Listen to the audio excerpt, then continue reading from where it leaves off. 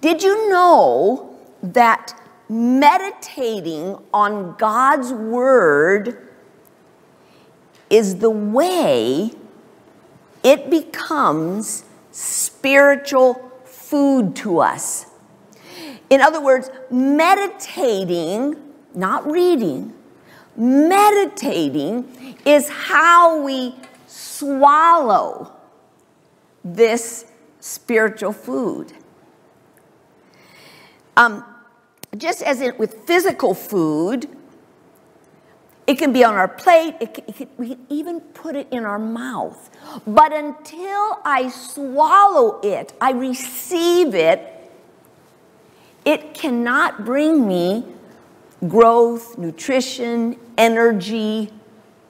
No. And the Word of God, though it is living and it is powerful, it must be received into my heart in order to give me spiritual strength, spiritual energy, spiritual growth, nutrition. And meditation is the method of, of swallowing the Word of God. Jesus, remember how he said, If my Word abides in you, abides in you.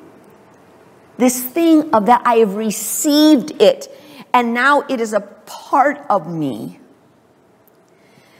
Here's a very interesting and powerful thought. In John 5 38, Jesus said to the Pharisees who knew the scriptures backwards and forwards, they wore scripture verses on their clothing. And yet Jesus said this to them You do not have the word of God abiding in you and yet they had it in their head.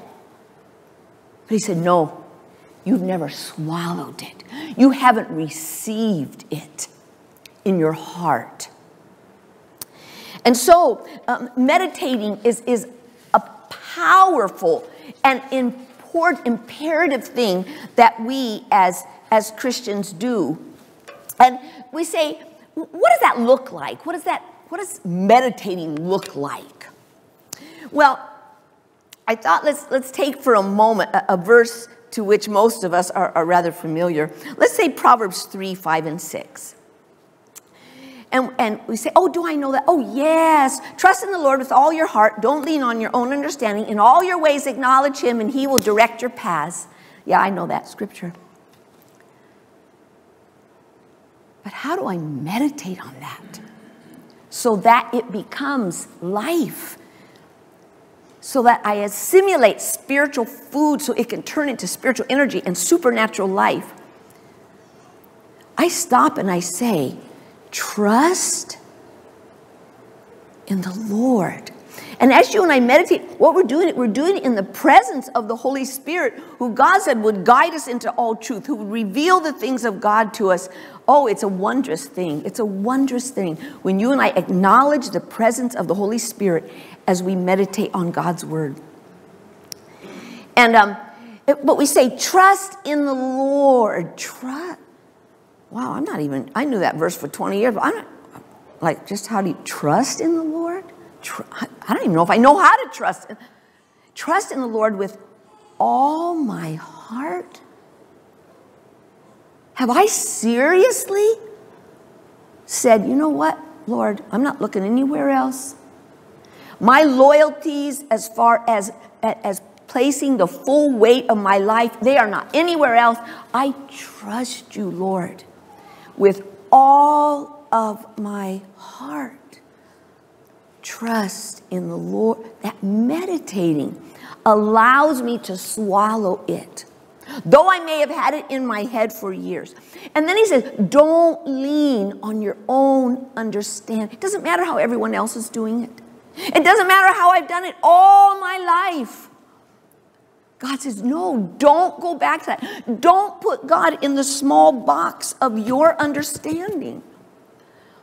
Don't do it. And as we meditate, how God's Holy Spirit will say, Are you walking all your Christian life by your own understanding? And then he says, in, in all your ways, acknowledge him. Ask him about everything. Is this all right, Lord? I, was planning to do this, Lord. I was going to make, Lord, are you in this decision? Oh, we say, when we meditate, we say, oh, I can't believe how many things in my life are outside the Lordship of Jesus. I just, they're my own decisions. I say, God, I'm doing this and I'm doing that. I made this plan and I made that, and uh, I hope you come along, Lord. Oh, but as I meditate in all that inclusive word, your ways acknowledge, is this all right, Father? And God says if we do those three things, the God of the universe will direct my personal steps. Can you imagine that? The God of the universe will direct my path. But you and I understand that meditation is how we take what we may have learned in our head, it comes into our heart, and by that, by receiving it, by swallowing it, it can become spiritual strength, spiritual nutrition, growth, and, and energy. So here I ask you very quickly what disciplines have you and I put in our lives so that we consistently meditate on His Word? I'd like to ask you that personal question. Again, forgive me for repeating myself, but unless we do this thing, we will read our Bible in the morning and we will even acknowledge that it was wonderful at the moment. But without meditation, it entered my head and I said, that was very good. But by noon, if someone asks you, what did you read today? You will not have a clue. And if you and I don't have a clue, that means it is not giving me spiritual energy, nutrition, or, or growth.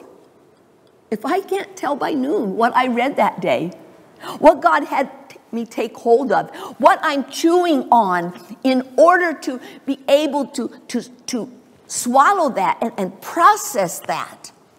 The living, powerful Word of God.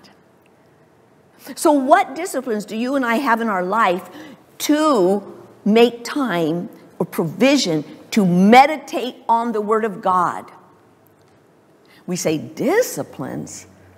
Now, are we getting into legalism or whatever foolish thing we come up with? Well, do you and I put disciplines in our lives to eat physical food? Or do we say, oh, you know, no, no, no, we, if it happens, it happens, and if it doesn't, it doesn't. no, we don't. We don't say, you know, this is a busy time of year with all you kids in, involved in sports. We just won't be eating this month. I just don't think there'll be time for it. We say there is time for it. In fact, if we're going to do it properly, we will have specific times. We will plan it. We will prepare for it. And we will sit down and partake because without it, our lives are at risk. And if you and I don't have the spiritual disciplines in place of meditating, feeding on the Word of God, then we will become spiritually malnutritioned. Our growth will be very small. And we will probably be bereft of, of, of spiritual energy. We will, we will probably be very weak spiritually most of the time. So um, we get it, don't we? We understand. Meditating is so effective and so powerful that here in Psalm chapter 1, which again, I'm sure you know, but it is powerful that God would speak this so clearly. He begins in verse 1, he says, Blessed, blessed. When, I'll tell you, when you and I have the blessing of God, nothing can match it.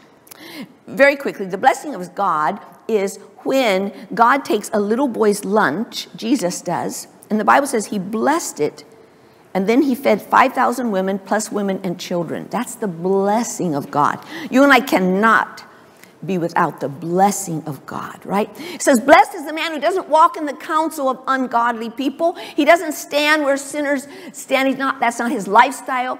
He doesn't sit with mockers, oh yeah, God does this or something. No, no, no. But his delight is in the law of the Lord. We say, Lord, I love this. I don't choke this down. You and I didn't choke down dinner tonight. We relished it. We, we don't choke, oh, oh, oh, where's the shortest psalm? No, no, we say, oh, my delight is in the law of the Lord, and in his law he meditates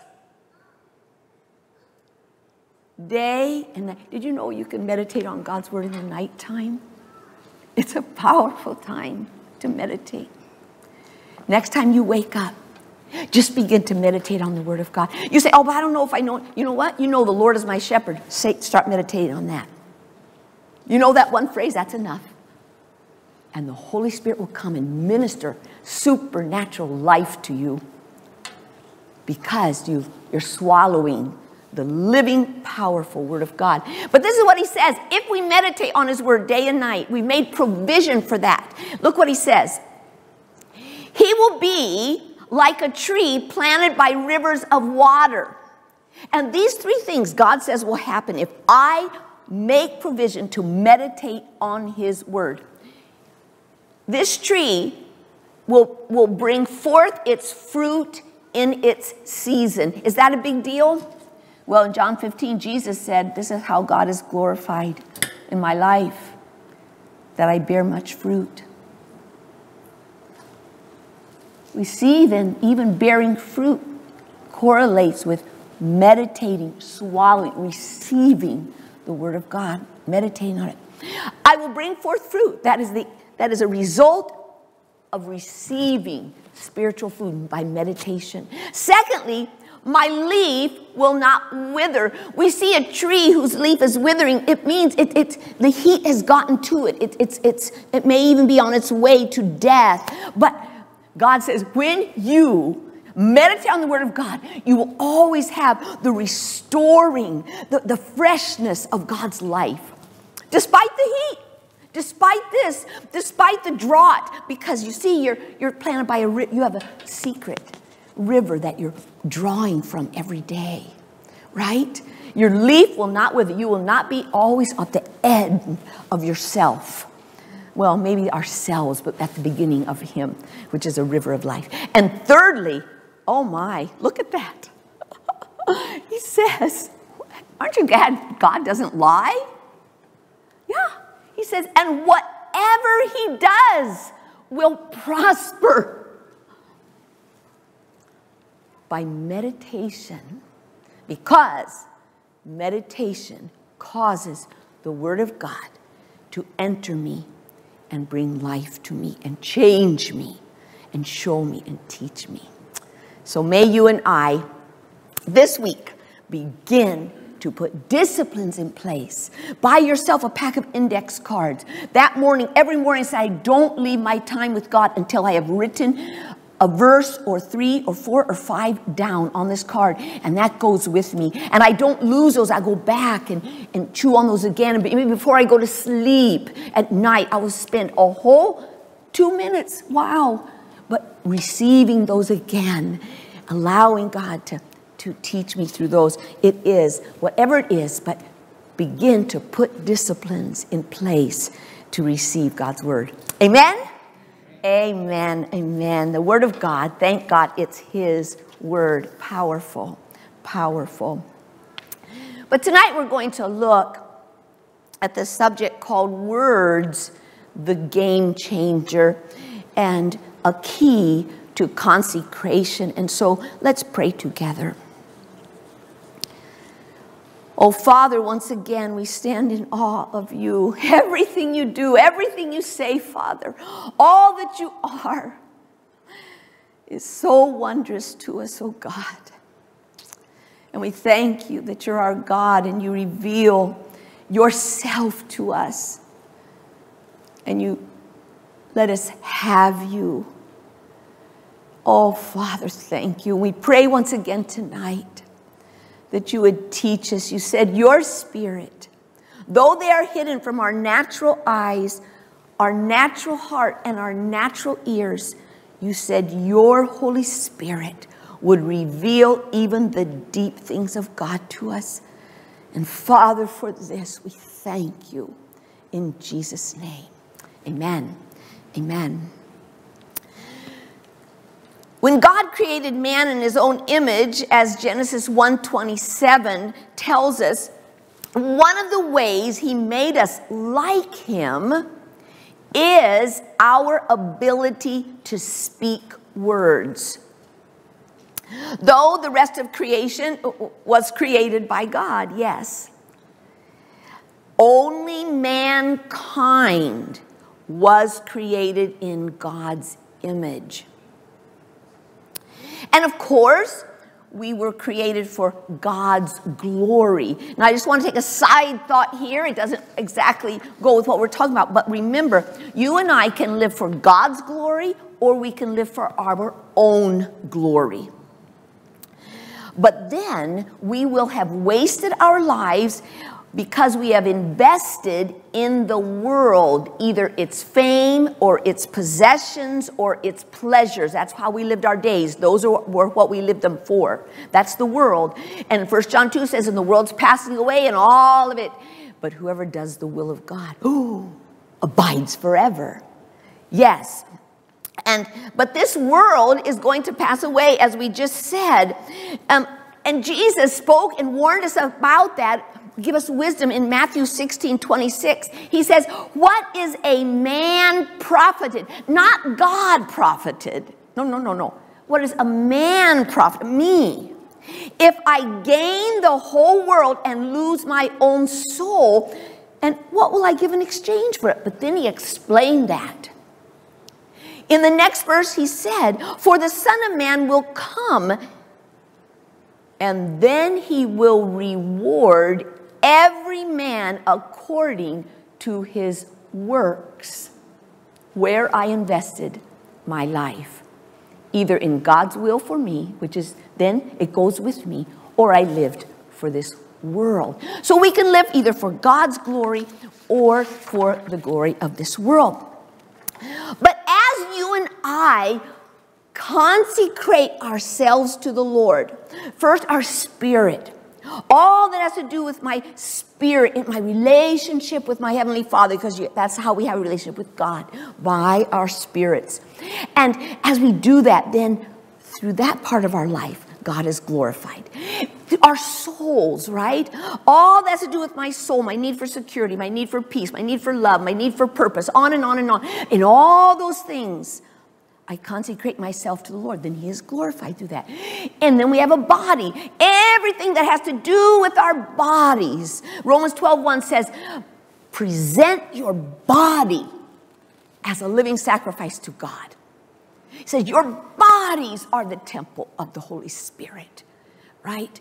And so, as we everything that has to do with our bodies, we consecrate to the Lord, then He will be glorified in those areas of our life.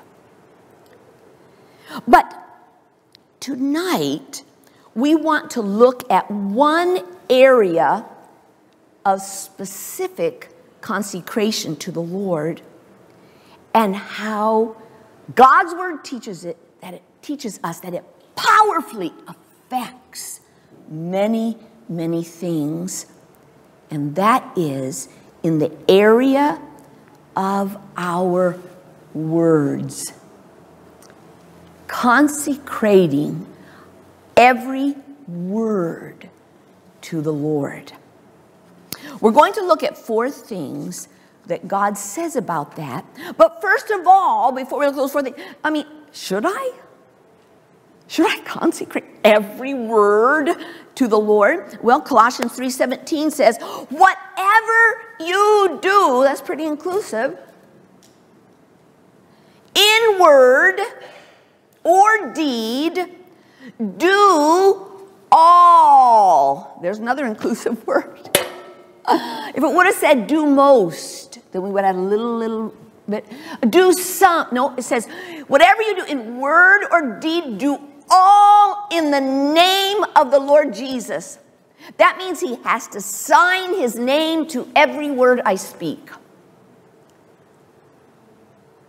Matthew 12, verses 36 and 37, Jesus spoke about words. He said, I say to you, every idle word men speak, every, yes, they will give account of in the day of judgment. For by your words you will be justified, by your words you will be condemned.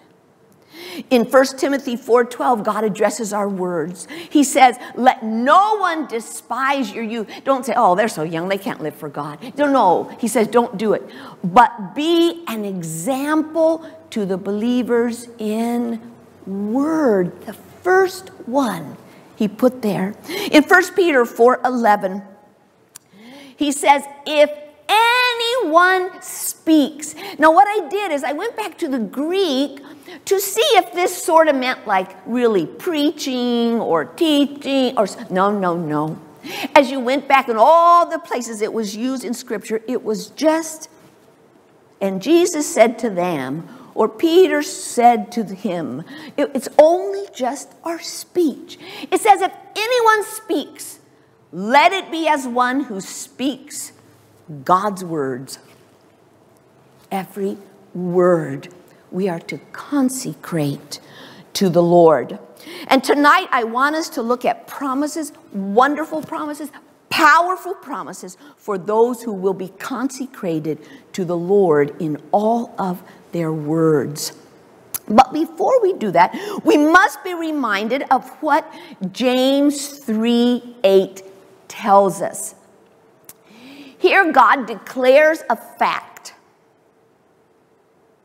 He says, No man, there's God's absolutes again. He didn't say some people, He said, No one can tame the tongue. Now, you and I know that when an animal is tamed, then it's trusted. You can let it roam. it's fine. They're fine. They're tame.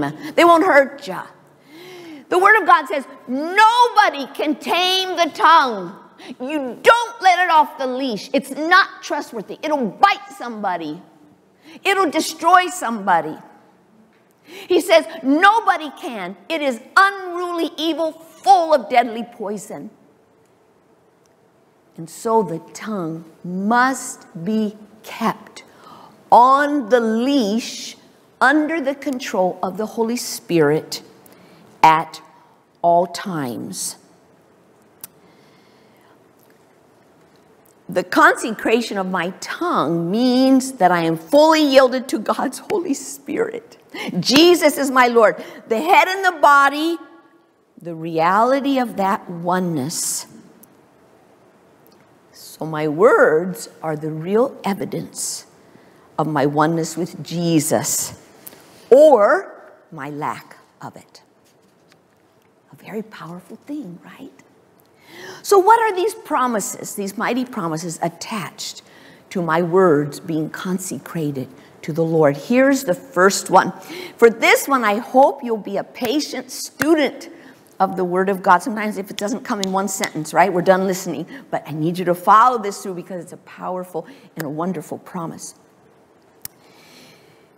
In Isaiah 58, God says here, if you turn your foot away from the Sabbath, from doing your pleasure on my holy day. Now, let me ask you now in the New Testament, is the seventh day of the week, that was the Sabbath, is the seventh day of the week, which was called the Sabbath, the only day that is holy to us now? And Monday, Tuesday, and Wednesday aren't holy, or Thursday, Friday. No, not anymore. Now that you and I are one with Jesus, He is the head and we are the body. Every day is a holy day. Every single one. We are to walk in one with the God of gods, the holy God of Israel. And that's why in Colossians 2:16 it says, don't let anyone judge you in food or drink or regarding a festival or a new moon or Sabbath. And these were all very critical physical observances of the Old Testament. But he explains in verse 17 these are a shadow. When you have the shadow of something, it's the outline, but it's not the real thing. We have a shadow of your hand. oh, we say, oh, that's what a hand looks. But this thing, man, it can do everything, right? He says those Old Testament observe the Sabbaths, the new moons, they were a shadow of the real thing. The Sabbath was God's beautiful provision for their bodily rest. Otherwise, they would have worked themselves seven days a week, right? We're so foolish. So God said, No, I don't want, I, I want them to have physical rest. But Jesus in the New Testament, in Matthew 11 28, said, If we take his yoke on us, we won't just find physical rest, put Jesus, full control. Jesus is Lord, I am one with him we will find rest in our souls. Not just our bodies, our souls will find rest, right? And that then, the seventh day was the shadow, but that is the reality, the true Sabbath. Ceasing from our own work because we, we wear his yoke on us. On the Sabbath, they were not allowed to do their own works.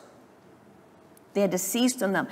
But the true Sabbath, as taught in Hebrews 4, especially in verse 10, is ceasing from our own works now that we're one with Jesus, now that we wear the yoke, and only doing His. So here in Isaiah 58, so we had to go that so we would understand what he's teaching us in Isaiah 58. Here in Isaiah 58, God speaks of this way ahead of time. And he says, if you turn your foot from the Sabbath, from doing your own pleasure on my holy day, which now is every day because I'm one with Jesus, and you call the Sabbath a delight, I love only doing your will, God. I love it. I love it. And it's the holy day of the Lord. It's an honorable thing. God, I honor this holiness, this oneness we have. And then he says, This is how we do it. And you honor him. This is Isaiah 58, 13, 14. Not doing your own ways. He said, No, you honor this Sabbath. The Sabbath where you cease from your own works and you find rest in your soul. He says, not doing your own ways. Oh, that's the way I've always done it. And that's just who I am. No, God says, now you're a new creation. You walk in my ways, my ways. And and, and he says, and not finding your own pleasure. Oh, I'm going to do my will, my. No, not my will, Lord, but yours be done because now Jesus is the head. And, oh, here we go. Not speaking your own words. Yeah. The next verse tells us what God promises will happen if one is willing to consecrate themselves to the Lord this way. He says, then you will delight yourself in the Lord. The Lord will really be your joy. And I, God says, you don't have to scramble for it, try for it, grab, coerce. No, I will cause you to ride upon the high places of the earth. God says, I will take you from the garbage dump, the dunghill, he actually called it, and set you with the rulers of my people. I will give you the best of my powerful kingdom. And he says, and I will feed you with the heritage of Jacob, your father. What, what, what, what?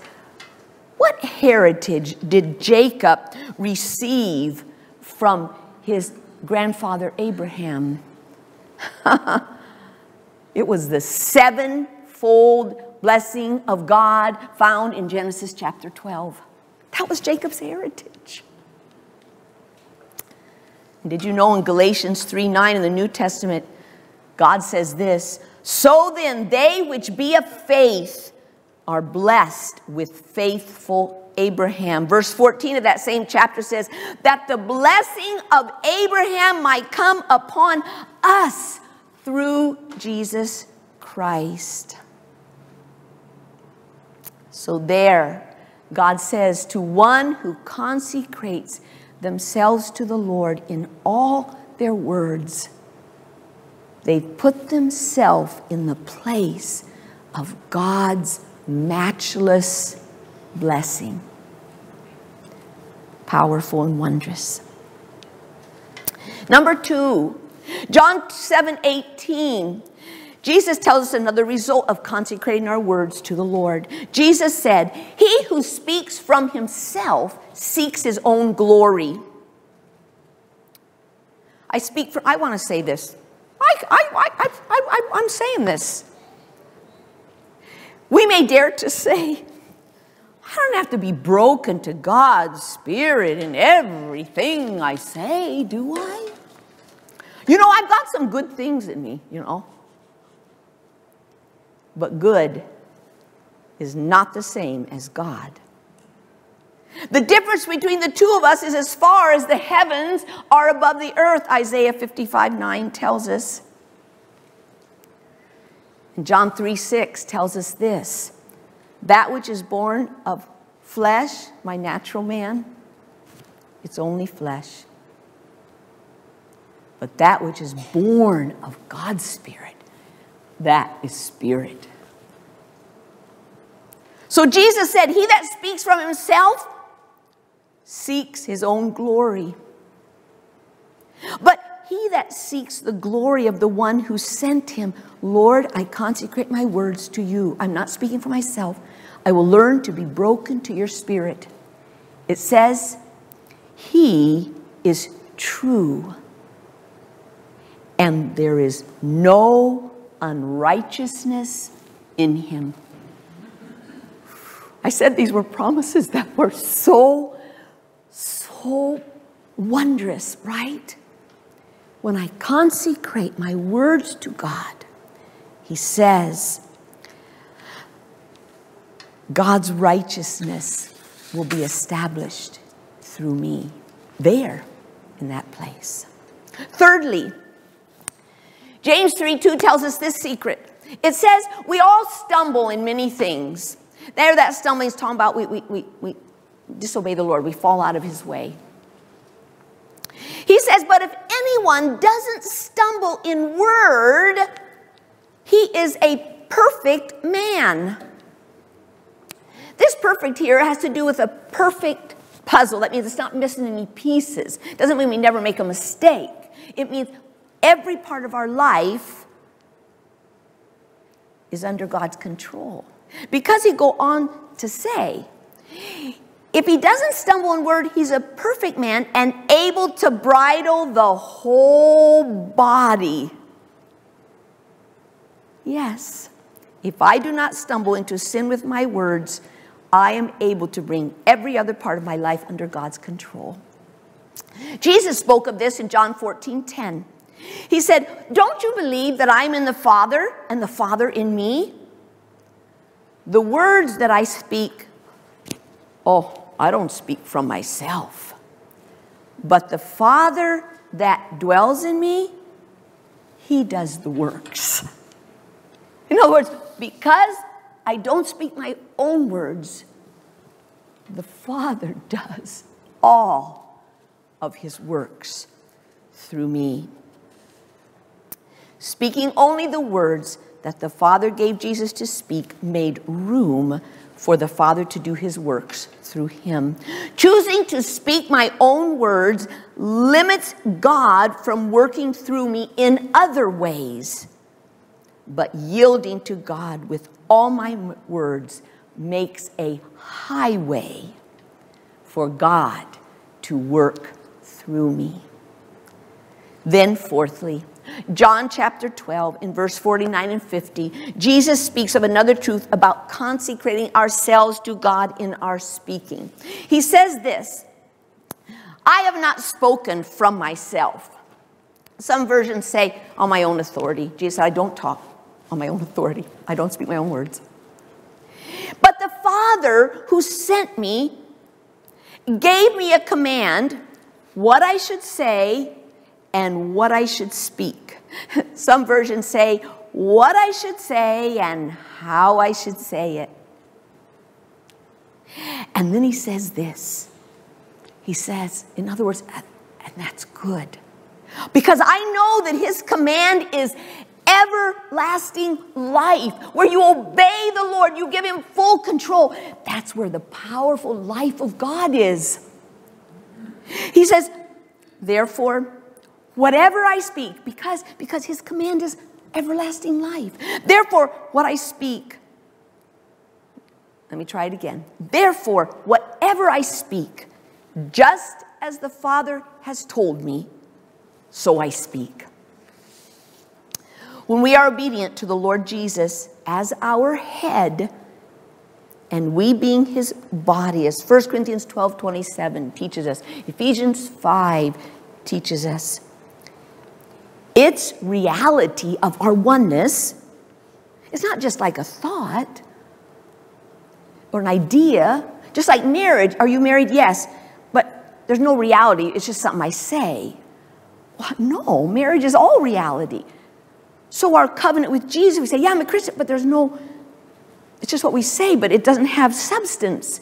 Yes, the substance of being joined to Jesus, its reality is, right? We often say it is 1 Corinthians 6 17. He that is joined to the Lord is one spirit. Now I have God's spirit in me. It's Christ. Jesus said, I'm going away, but I'll send my spirit. He will dwell with you. He'll be the comforter. He will teach you. He will guide you. He will show you all things. And as we are one with that Holy Spirit, do you remember what Galatians 6 told us? He says, He that sows to the flesh, I follow what my flesh wants. Might be good, but it isn't God shall of that flesh, I sowed those seeds to make myself, myself, I, I will reap that which perish. It's not eternal. But he that sows to the Spirit, remember we're one with God's Spirit, shall of the Spirit reap life. Jesus said, My Father's command, I speak only his words because his command is life. Life, the supernatural life of God. God's supernatural life comes where from such sowing to the spirit of God. Proverbs 18:21 speaks of this truth also. It says death and life, yes, the life of God are in the power of my tongue. It is. If I bring it under the authority of God's Holy Spirit. Proverbs 10 11 says, The mouth of the righteous is a fountain of life. Jesus spoke of his spirit being in us, in us as the fountain of his perpetual life in us. Consecrating our mouth into the Lord causes us to bring life giving words to other that bring a harvest of his life. Closing then, are you and I consecrated to the Lord in all of our words? That's a new growth in the Lord, isn't it? But if you and I take His word serious, seriously, we receive it. Sometimes it takes a while to, to, to incorporate it into my soul. Remember, the law of the Lord converts my soul. It's engrafted, James says, into my soul. But if we do, if we just say, oh, yeah, the Bible says that, well, and that seed is lost, it brings no fruit in us. But if we say, Lord, yes, I hear. And now I'm going to step into that new place with you, a new consecration. I want to learn, Father. Then, what did we learn? Four things. It, it will bring his matchless blessing, the blessing of Abraham, the heritage of Jacob. Secondly, it will bring his righteousness there. There is no unrighteousness in him, Jesus said, John 7 18. Thirdly, it will make a highway for God to work through me. For if my words are consecrated to him, the rest of me is too, James 3 8 taught us. And then, fourthly, it brings God's supernatural life, for my words are born of his spirit. Amen. Let's pray together.